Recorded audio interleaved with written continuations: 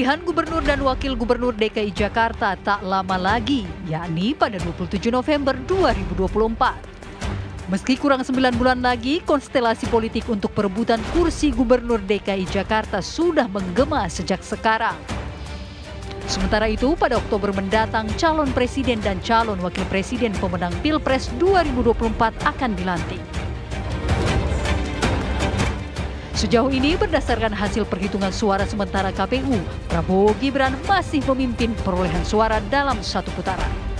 Lantas, akankah Pilgub DKI Jakarta November nanti masih ada rasa Jokowi? Mengingat kemenangan Pilpres 2024 ini sangat dipengaruhi nama besar Jokowi. Jika masih ada, bagaimana pihak yang berseberangan harus menyiapkan strategi mencari tokoh yang bakal diusung bisa melawan popularitas Jokowi? Tim TV One mengabarkan.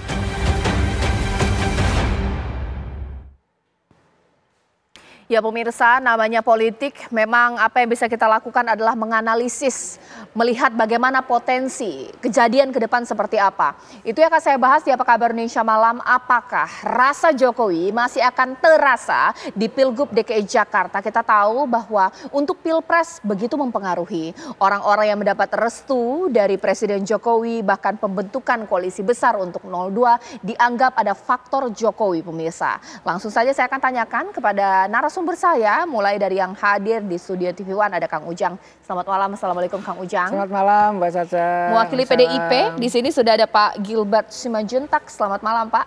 Malam Mbak Caca. Saya mau coba sapa pemirsa, ini ada dua narasumber saya mudah-mudahan sudah terdengar dengan jelas di sini Bang Bestari Barus dari Nasdem dan ada Bang Doli dari Golkar. Selamat malam Bapak-Bapak.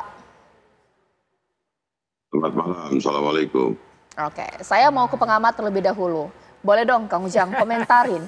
Ada yang salah atau mungkin jangan-jangan banyak benarnya judul saya pada malam hari ini. Rasa Jokowi bisa begitu terasa untuk Pilgub DKI Jakarta sama dengan Pilpres.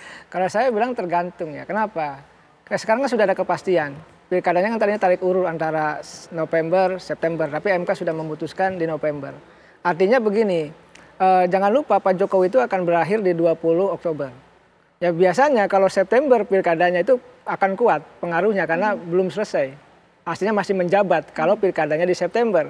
Tapi jangan lupa pilkadanya saat ini adalah di November. Artinya Pak Jokowi sudah selesai. Ada dua kemungkinan yang bisa kita baca. Pertama, bisa Pak Jokowi punya pengaruh ya. asalkan tadi Pak Prabowo-nya ada komitmen bersama dengan Pak Jokowi untuk saling mendukung.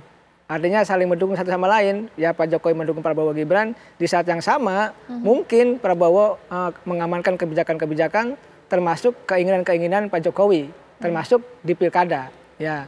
Yang kedua kemungkinan yang bisa saja bahwa ya nanti Pak Jokowi ya mulai mohon maaf dalam tanda petik secara politik juga akan mulai tersisihkan. Mm-hmm. Oleh karena itu kita tidak tahu ke depan apakah deal apa yang terjadi ya antara katakanlah presiden yang lama yang demisioner Pak Jokowi dengan Pak Prabowo sebagai presiden yang baru.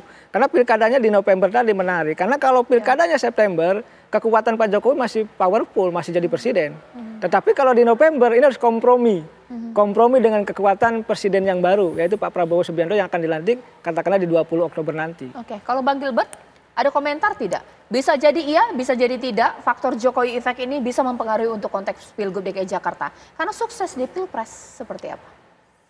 Uh, saya melihat pendaftaran kan tanggal 27 Agustus ya. Kemudian pilkadanya 27 November. Hmm. Artinya ada periode masih campur tangannya presiden yang sekarang incumbent Jokowi di pencalonan.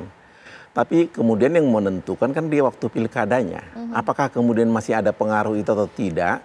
Tergantung bagaimana dia menyusun kekuatan saat ini dan itu yang mungkin mesti kita antisipasi. Kalau dia kemudian menyusun kekuatan lewat parpol yang kemudian dia bisa pegang karena kasus-kasus tertentu atau kemudian dia bisa pengaruhi lewat uh, faktor yang lain, mungkin masih ada pengaruh. Tetapi seberapa besar saya kira sangat tergantung pada seberapa besar peranannya presiden yang menjabat di November 2024 ini. Jadi sangat tergantung pada hubungannya dia dan kemudian sikap yang diambil oleh presiden incumbent saat itu. Okay. Karena dia sudah berlalu begitu.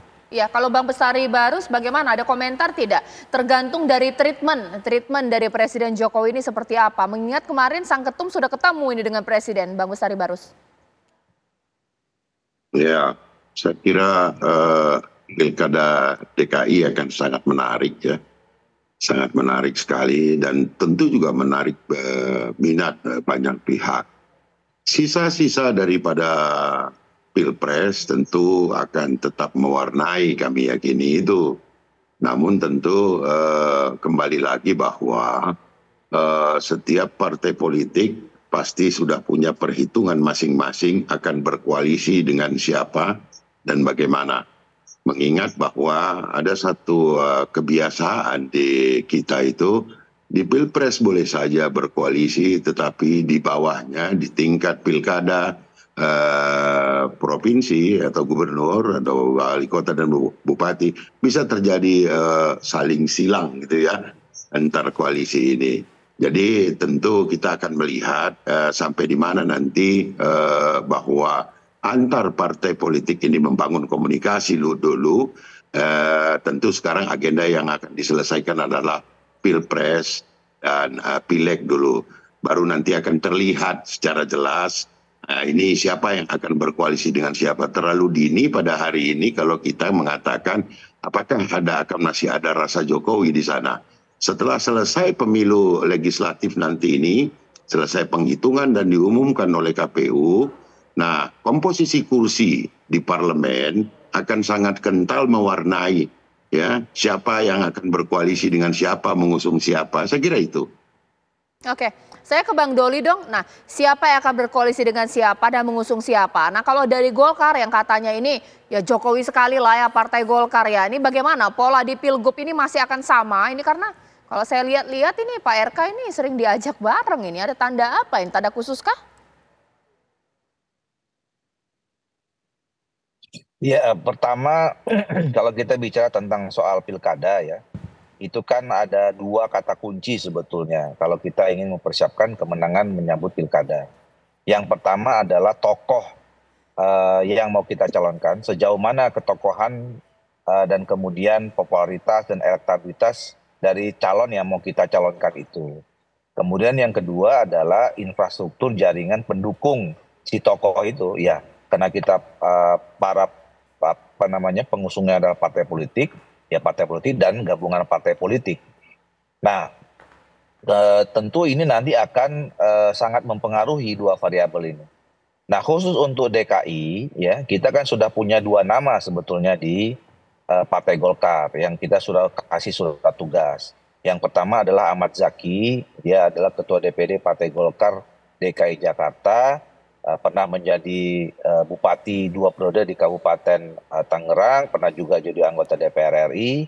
Kemudian yang kedua adalah saudara Ridwan Kamil yang sebelumnya adalah menjabat sebagai gubernur Jawa Barat dan dua-duanya punya cita sukses di tempatnya masing-masing gitu.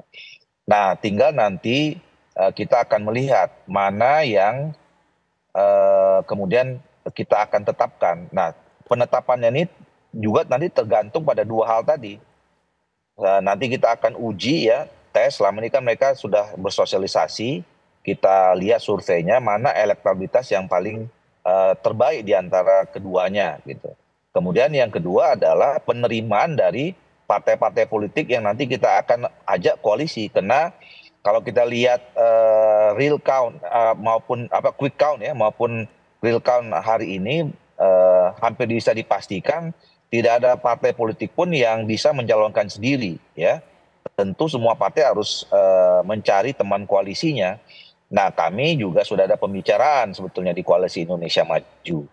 Koalisi Indonesia Maju ini bersepakat uh, bila dimungkinkan koalisi ini akan uh, ditetapkan sebagai koalisi yang permanen termasuk dalam menghadapi pilkada. Walaupun sekali lagi kalau kita lihat pengalaman di pilkada-pilkada sebelumnya ya belum tentu bisa uh, konkuren sama persis ya koalisi yang ada di pilpres dengan pilkada karena pilkada ini juga uh, bisa sangat cair hmm. walaupun memang jadi uh, tentu di koalisi Indonesia Maju uh, pembicaraan pertamanya tentang persiapan pilkada dibicarakan antar partai politik yang ada tergabung di koalisi Indonesia Maju. Oke. Okay. Nah, kalau bicara tentang soal hubungannya dengan Pak Jokowi, ya tentu kan koalisi Indonesia Maju ini adalah partai-partai politik yang selama ini komunikasinya cukup baik, hubungannya cukup dekat dengan Pak Jokowi. Nah, kalau ditanya soal rasa, ya mungkin diskusi-diskusinya nanti mungkin uh, juga uh, apa namanya kita mendengarkan saran masukan dari dari Pak Jokowi yang selama ini memang koalisi Indonesia Maju ini uh, cukup baik dan dekat dengan Pak Jokowi. Okay. Baik, ditahan dulu Bang Doli nanti sesaat lagi kalau dari Golkar sudah lampu hijau ya Kang Ujang ya bahwa bolehlah kami akan siap berkoalisi sama dengan Pilpres. Nah pemirsa, tapi kan juga tahu kalau kita berbaca berkaca mengenai konteks Pilpres kemarin, banyak sekali orang-orang yang sudah dipuji-puji oleh Presiden Jokowi tapi bukan menjadi pilihan akhir dari Presiden Jokowi. Ketika Presiden Jokowi memberikan rasa untuk calon tertentu, kira-kira sinyal seperti apa nanti mengarah kepada sana? Boleh nanti kita akan baca. Jadi tidak ada calon-calon yang kemudian GR duluan padahal bukan dipilih oleh Presiden Jokowi sesaat lagi.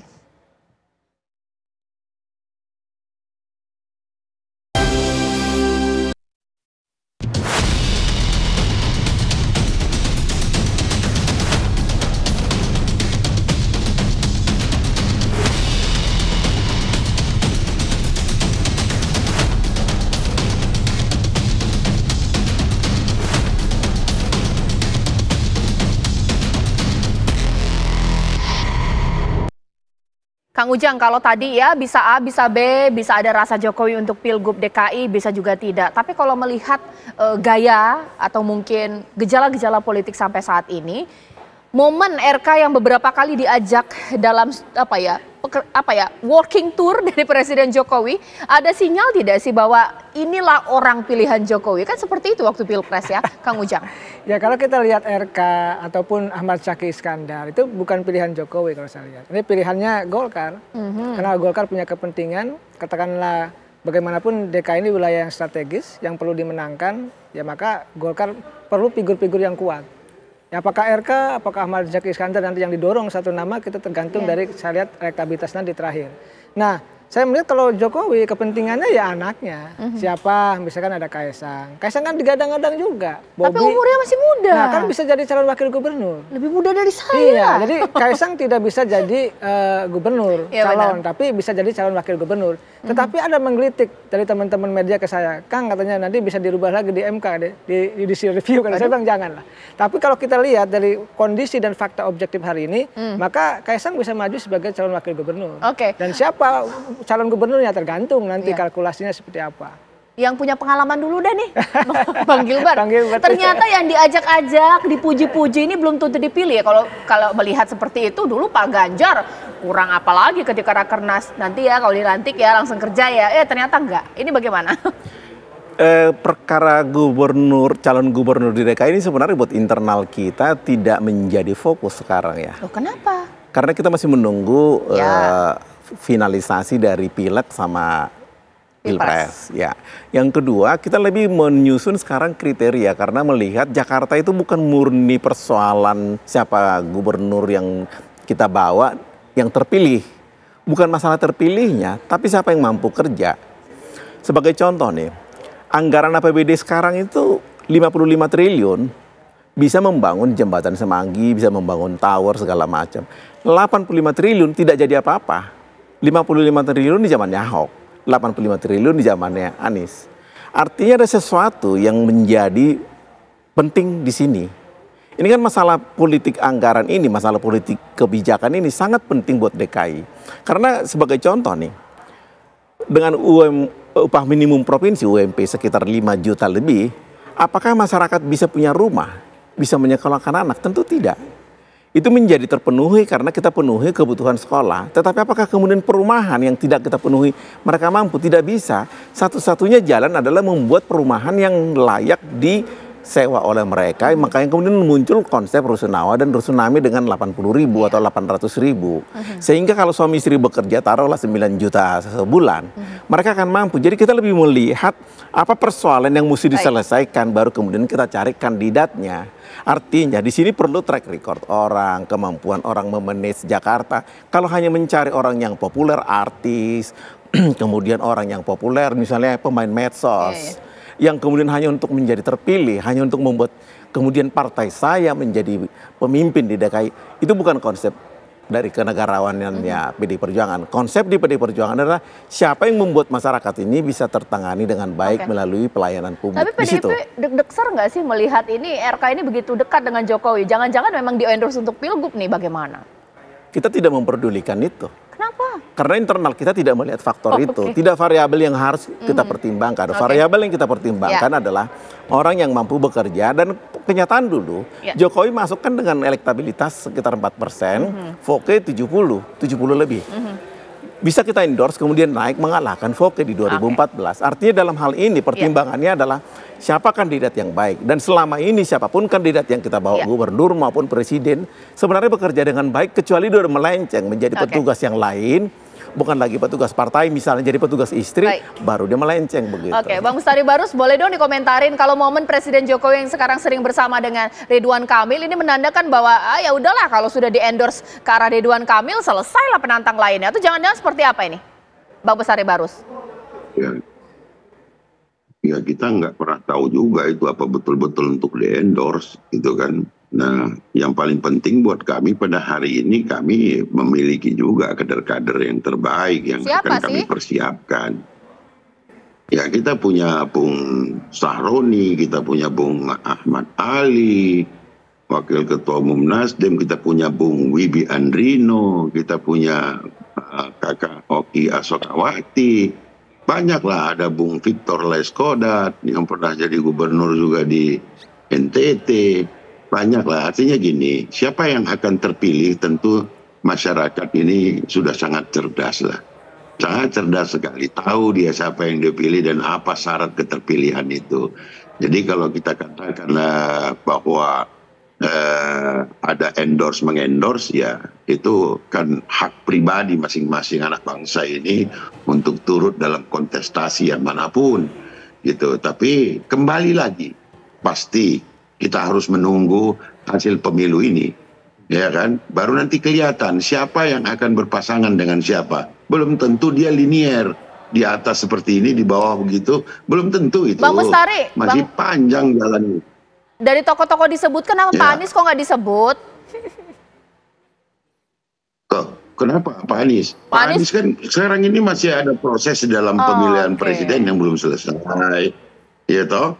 Nah, jadi biarlah itu menunggu tapi kami mempersiapkan gitu ya kan mempersiapkan hmm. saja bahwa saya kira seluruh partai politik sudah boleh dikatakan siap untuk menghadapi Baik. pilkada DKI hanya saja tentu menunggu menunggu dan menunggu hasil pengumuman dari KPU nanti siapa yang akan berpasangan dengan siapa saya kira itu akan sangat dinamis sekali okay. dan kemungkinan besar tidak linier gitu loh Uh, Bang Doli, boleh dong dikomentari bahwa selain juga belum pasti bersama dengan Jokowi sering dalam berbagai event pasti akan mendapat restu dari Jokowi khusus untuk Ridwan Kamil meskipun ada nama Ahmed Zaki juga ya. Tapi penantang untuk Pilkada DKI dari partai lain ini juga ada Ahmad Saroni, bahkan sempat ada nama Risma juga, Kofifa, ini seperti apa?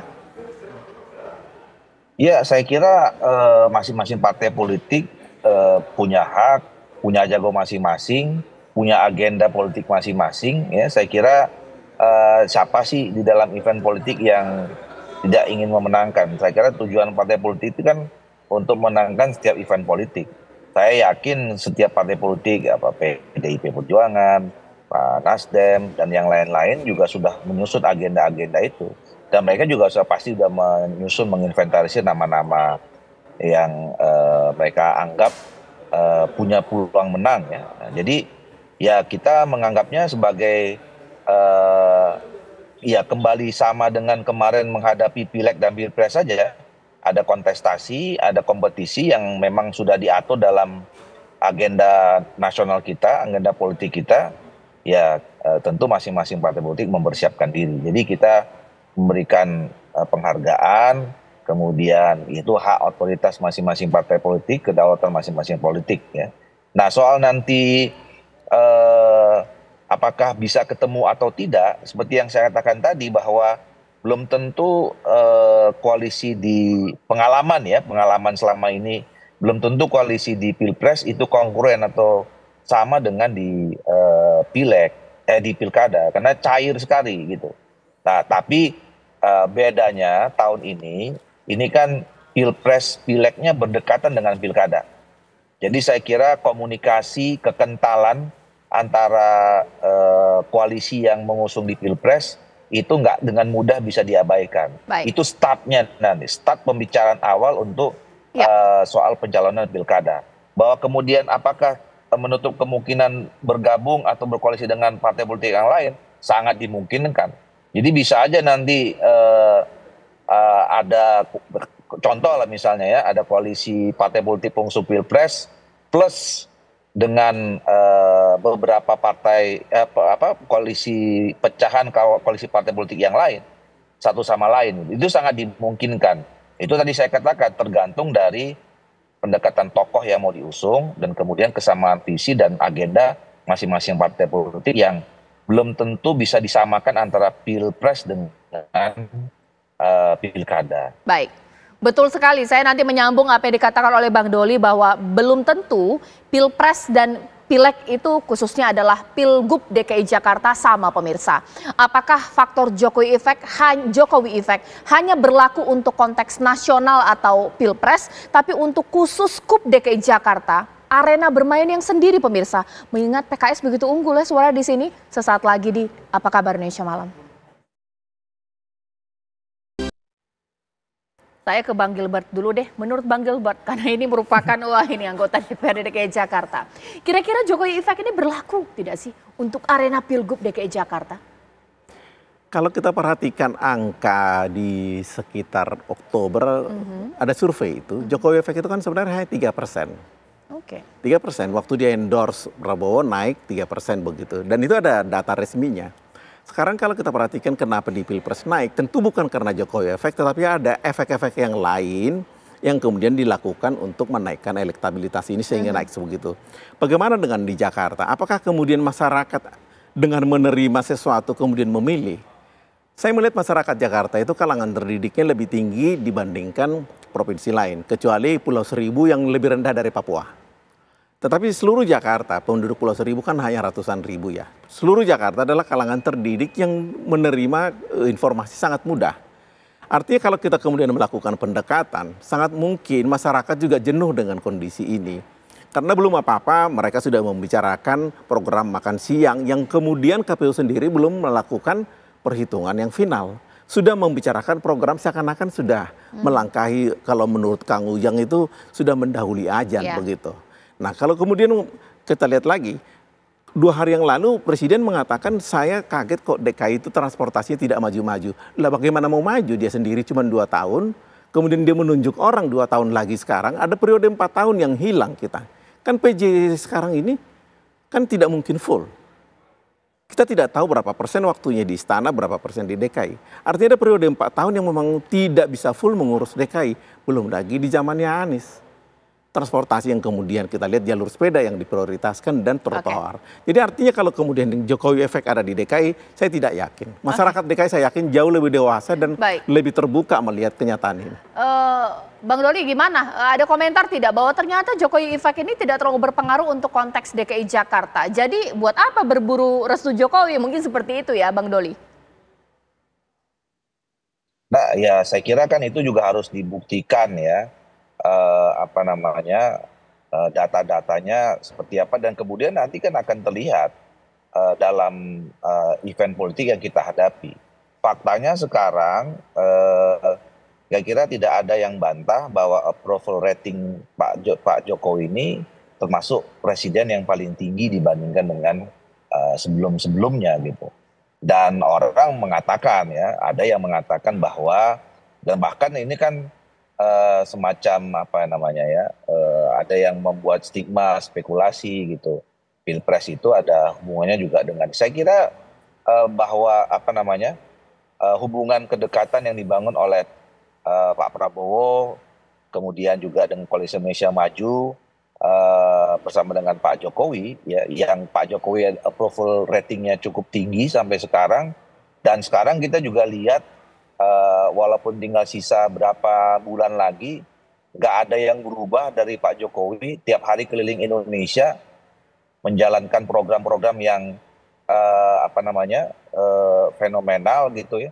Meresmi jalan tol uh, macam-macam lah gitu. Jadi uh, artinya bahwa saya kira faktor Pak Jokowi bisa masih menjadi variabel uh, yang uh, ada pengaruhnya ya terhadap agenda-agenda politik termasuk juga di uh, Jakarta. Nah, cuman uh, apakah kemudian uh, pengaruh atau disebut rasa ini melalui mekanisme apa gitu kan? Nah, kalau kami kan tadi mengatakan ya tentu uh, nanti menghadapi pilkada terutama di DKI uh, kita kan akan rundingan dulu pertama kali dengan koalisi Indonesia Maju yang semua partai politik di koalisi Indonesia Maju ini uh, punya hubungan yang baik dengan Pak Jokowi. Okay. Nah mungkin kalaupun ada pandangan-pandangan uh, yang kita perlukan dari Pak uh, Pak Jokowi yang melalui mekanisme hubungan kedekatan partai-partai politik itu ya saat kita minta apa mendengarkan saran dan masukan dan segala macam ini bukan soal bukan soal endorse mengendorse kan kita juga nggak bisa kan kemudian berspekulasi okay. uh, ketika Ridwan Kamil ikut berapa kali agenda acara di Pak sama Pak Jokowi kemudian kita bisa menyimpulkan oh Pak Jokowi uh, Ridwan Kamil kan nggak ada yang ngomong juga itu gitu kan ya. soal itu ini kan tafsir saja okay. gitu tapi yang jelas Ridwan Kamil dan Ahmad Zaki itu di uh, nominasikan oleh Partai Golkar. Oke, Bang Bestari Barus, uh, ada komentar tidak bahwa bisa jadi Jokowi Effect ini juga mempengaruhi uh, Pilgub DKI Jakarta karena ada faktor approval rating atau jangan-jangan Bang Bestari Barus membantah? Ya saya kira kita uh, harus mendudukkannya supaya uh, secara objektif bahwa uh, bisa saja para pihak itu uh, memberikan pengaruh-pengaruh. Namun pada situasi hari ini kan kita sama-sama tahu bahwa Pak Jokowi juga akan selesai sebelum pilkada itu berlangsung.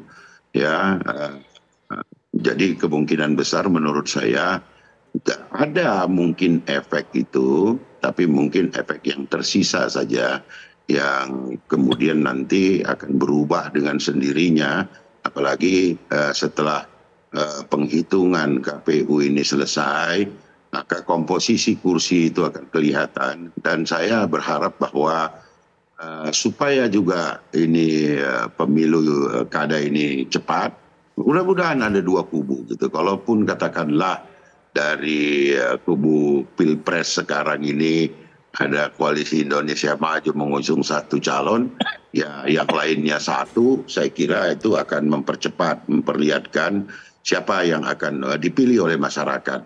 Dan mudah-mudahan uh, terlepas dari uh, segala kepentingan bahwa pilkada DKI nanti akan berlangsung jujur, adil dan langsung bebas rahasia, tidak lagi diintervensi dengan hal-hal yang kita eh, tahu selama ini ada kejadian-kejadian ya. yang cukup mengemuka dan mudah-mudahan itu tidak terjadi di Jakarta karena apa? Karena Jakarta kota besar dan kita semua bisa melihat dengan baik apa yang sedang berlangsung bahkan jangan sampai jam 3 pagi ada operasi saya kira itu. Oke, kamu Jang. Ya kalau saya lihat begini ya, eh, dinamika politik akan berubah. Kenapa? Ketika 20 Oktober katakanlah presiden baru terpilih akan dilantik, Pak Jokowi bersamaan dengan itu adalah berhenti. Pertama itu. Nah pendulum kekuasaannya sudah berubah. Bandulnya sudah berubah. Bukan lagi kepada Pak Jokowi, tetapi kepada Pak Prabowo, udah pasti. Jadi pendulumnya sudah ada di tangan presiden ya. terpilih. Pertama.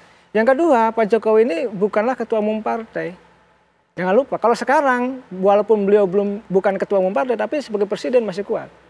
Tetapi ketika 20 Oktober nanti itu pendulumnya sudah beda. Dinamikanya sudah berubah. Ya tadi ketua umum partai tidak, presiden pun tidak. Jadi kalau pengaruh pun saya mengatakan kecil kecuali mm -hmm. ada kompromi-kompromi dengan presiden terpilih. Mm -hmm. Saya meyakini itu. Jadi pendulum kekuasaan itu ada pada orang yang berkuasa, ada presiden okay. pada terpilih begitu. Oke, okay. sesaat lagi kita akan berbicara mengenai jargon atau uh, jualan mereka pemirsa, tawaran dari mereka. Kalau pilpres ini kan perubahan versi melanjutkan kebijakan Jokowi. Hmm, untuk pilkada DKI Jakarta, kira-kira apa yang menjual pemirsa akan terbuai lewat visi atau mungkin jualannya seperti apa? perubahan masih berlaku atau mungkin jangan-jangan akan dimakan masyarakat Jakarta sesaat lagi.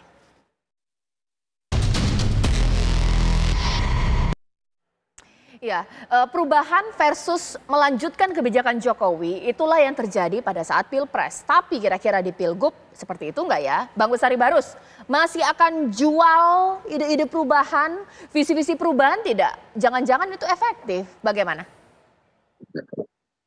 Ya, sebetulnya bukan jual perubahan, tapi memang kami Partai Nasdem itu mengusung gerakan perubahan sampai kapan pun jadi tentu kita akan mengusung calon gubernur dki yang sepaham dengan kita mm-hmm. untuk membawa terus gerakan perubahan itu uh, dikumandangkan di Jakarta dan di mana pun gitu. Jadi bukan apakah kita akan Pasti berarti tetap ya. mengusung perubahan, memang itulah kita kita ada, kita berdiri, kita eksis ya untuk itu. Saya Efektif nggak di Jakarta? Gimana? Efektif tidak ini akan membuat masyarakat memilih kalau pakai visi-visi perubahan yang ditawarkan? Ya, pada hari ini kita banyak melihat bagaimana masyarakat Jakarta masih mengeluh terhadap pelayanan, kemudian terhadap harga-harga, kemudian hal-hal yang lain. Sehingga uh, tentu apakah hal seperti itu akan dilanjutkan? Tentu perubahan yang akan menjadi jawaban. Saya kira itu. Mm -hmm. Oke, sekarang saya ke Bang Doli. Bang Doli, nah kalau dari Nasdem ini sendiri dan juga beserta partai koalisi nantinya kan sudah tahu ini efektif kalau DKI Jakarta akan dijual ide-ide perubahan. Nah kalau dari Golkarnya seperti apa? Ini yang uh, bisa dijadikan contoh salah satu kenapa belum tentu kongruen ya antara uh, pilpres dengan uh, pilkada ya. Dari segi isu saja belum tentu bisa harus sama ya Misalnya kalau di DKI Jakarta, ya kan petahananya selama ini kan eh, Pak Anies, ya walaupun terakhir ini ada pejabat, ya. Tentu kan ya bagi teman-teman secara politik ya koalisi eh, apa 01 itu kan susah bicara tentang perubahan kalau kemudian nanti ternyata ya ternyata yang diusung adalah eh, misalnya eh, kan ada juga santer-santer ya eh, Pak Anies gitu misalnya. Kalau misalnya turunan dari pilpres ke sana. Nah, sedangkan kami misalnya, eh, kami kan membawa calon baru. Eh, ya ada Ridwan Kamil sama Ahmad Zaki. Tentu kami juga tentu punya isu-isu lain yang belum tentu sama dengan apa yang sudah dilakukan oleh eh, gubernur-gubernur sebelumnya gitu. Nah, itu yang salah satu saya katakan dari contoh dari segi isu saja belum tentu bisa sama uh, diturunkan dari isu pilpres ke isu pilkada.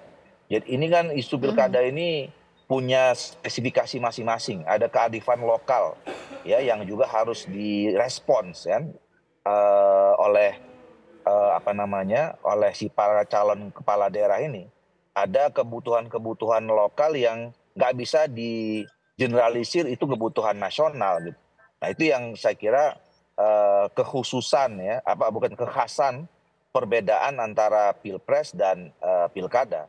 Jadi bagi partai politik, bagi uh, calon-calon kepala daerah, dia harus bisa menemukan isu-isu spesifik yang harus uh, bisa apa namanya mendapatkan respon positif dan baik mendapat dukungan dari uh, masyarakat okay. di daerah yang akan ikut pilkada itu gitu. Iya, Bang Gilbert. Nah, kalau dari Nasdem sudah pasti perubahan, Golkar kita punya nanti tawaran baru, PDIP seperti apa? Saya agak sedikit bingung kalau Nasdem sama Golkar bawa isu perubahan karena mereka mau merubah apa yang dilakukan oleh Anies sementara mereka ada di dalam gerbong itu di 2017-2022 ya. Tetapi kalau PDIP membawa isu perbaikan hmm. tentu akan sangat tepat karena melihat apa yang terjadi saat ini. Karena kalau kita melihat di anggaran yang lalu itu begitu banyak persoalan yang timbul. Sebagai contoh, dulu kita punya ada namanya electronic budgeting yang membuat transparansi begitu jelas. Semua orang bisa sampai kemudian ke satuan tiga. Tetapi kemudian di era presi, uh, gubernur yang kemarin itu hilang, ditutup. Sementara apa yang terjadi di DKI itu menjadi contoh oleh seluruh kepala daerah se-Indonesia untuk melakukan electronic budgeting. Pada saat mereka mengadopsi dari DKI di tempatnya karena permintaan Kemendagri, di DKI-nya kemudian malah ditutup begitu. Tentu ini harus diperbaiki, makanya perlu perbaikan di DKI ini. Sebagai contoh yang kedua adalah masalah transportasi yang begitu berat sekarang ini. Begitu tingginya angka polusi di DKI, transportasi yang begitu susah dan segala macam. Ini semua mesti diperbaiki. Kemudian masalah banjir. Ya. Nah, ada hal yang sangat mendasar juga. Musrenbang kita ini sekarang adalah musrenbang yang kemudian copy paste. Ditiru dari yang lalu, tempelin, tempelin, tempelin. Sehingga semua perencanaan itu adalah mengikuti program atau pola tahun-tahun sebelumnya. Sehingga anggaran itu akan selalu hilang, tinggal besar kecilin aja anggarannya. Tidak ada sebuah kebijakan yang berupa terobosan untuk mengatakan, saya butuhkan ini di Jakarta. Sekarang anggaran ini sekian akan pakai sekian untuk anggaran belanja rutin, tetapi yang ini saya pakai untuk anggaran pembangunan. Di Jakarta yang Baik. terjadi adalah seperti karet. Oke. Seperti lubang hidung, kelingking Baik. masuk, jempol masuk, Waduh. ibu jari masuk. Baik, ya, ya baik. begitu anggaran DKI. iya, Makanya iya. kemudian tidak ada perkembangan. Kang Ujang terakhir, nah ini sudah terlihat ada tiga ya. Perubahan, keberlanjutan, perbaikan. ini seperti apa? Kalau saya begini, dipetakan dulu persoalan-persoalan Jakarta itu apa. Tadi Bang Gilbert menguasai, ada misalkan banjir, transportasi, ada perumahan kumuh dan lain sebagainya, kata dan lain-lain. Nah ketika ini sudah ada, diketahui eh, persoalannya, masalahnya, maka muncullah ide gagasannya gitu loh, apa.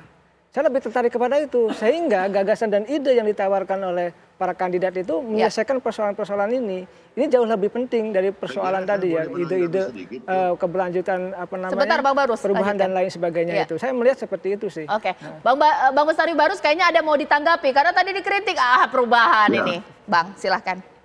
Ya, saya mengatakan bahwa perubahan itu menempel pada Partai Nasdem. Jadi kalau dikatakan tentang Anies eh, soal transportasi, ya mungkin harus dilihat lagi itu ada prestasi yang cukup besar di sana yang tidak disampaikan tentang Jaklingko, bagaimana mengintegrasikan. Kemudian ada hal sekarang banjir gitu. Ini kan kenapa? Ini kan karena PDIP pada waktu itu jelas-jelas memotong anggaran untuk sumur resapan. Jadi perlu satu kekuatan buka-buka besar untuk membawa perubahan ini gitu ya. Supaya kuatnya satu koalisi di dalam pemerintahan itu bisa membuat program itu berjalan lancar. Seperti itu seharusnya, bukan karena ketakutan politik kemudian anggarannya di, eh, di dipotong. Tambah lagi Pak Anies itu sudah membawa Baik. lima kali, Oke. lima kali apa namanya WTP yang belum pernah dilaksanakan di, di- didapat oleh PDIP ataupun eh, gubernur selama ini. Jadi dan yang terakhir adalah bahwa perubahan itu nggak bisa kemudian satu dua tahun tiga tahun begitu loh. Oke. Nah, itu supaya menjadi pelajaran bagi DPRD bisa kemudian melihat program mana yang baik dijalankan jangan Baik. karena hal-hal politis kemudian eh, programnya dihancurkan. Kan Baik. itu yang Segera penting gitu loh. Ya, Mau lanjutkan aja. kehancuran Baik. ya itu terserah kepada partai Anda. Saya Baik. kira itu. Eh, singkat saja Bang Gilbert. Eh, DPRD tidak pernah dan Partai PDI Perjuangan juga tidak pernah memotong anggaran yang kemudian terlaksana dengan baik. Tapi kalau anggaran untuk banjir sumur resapan yang tidak bekerja dengan baik kita potong, kita mempertanggungjawabkan itu kepada rakyat dan Ya. silakan rakyat sendiri yang melihat. Saya kira itu aja. Baik. Iya. Pemirsa, sel- selain nama-nama yang nanti akan maju di Pilgub DKI Jakarta, koalisi atau peta koalisi, sampai isunya juga sudah apa kabar Indonesia malam panasin dari sekarang. Tapi kita tunggu nanti bagaimana situasi yang terjadi beberapa hari ke depan, beberapa bulan ke depan hingga nanti Pilgub DKI Jakarta akan terlaksana. Terima kasih Bang Gilbert, Kang Ujang, Bang Bestari Barus, Bang Doli